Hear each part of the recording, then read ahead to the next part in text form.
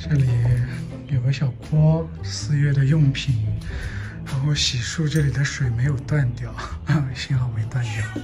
哎哎，乖。